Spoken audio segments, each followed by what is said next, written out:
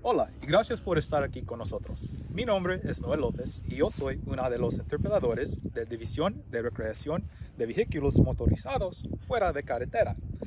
Este programa fue creado en 1971 y hoy este programa, una división del Departamento de Parques y Recreación de California, es el programa más grande y exitoso de su tipo en los Estados Unidos.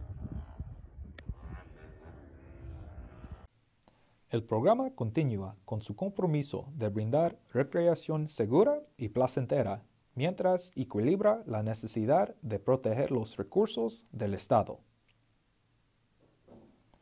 Además de brindar accesibilidad a la recreación fuera de la carretera para todo tipo de personas, el programa brinda una variedad de servicios y beneficios a los residentes y visitantes de California, incluida la administración de recursos de las tierras estatales, la protección del hábitat de plantas y animales, programas para los juveniles y la aplicación de ley.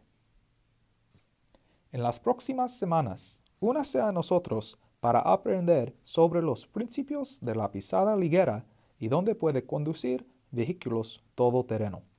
Nos vemos. Los próximos meses, únase a nosotros para aprender sobre los principios de la piscera ligera y cómo te pueden mantenerlo a salvo. También únase a nosotros para nuestra Semana de Seguridad este día 14 al 22 de mayo.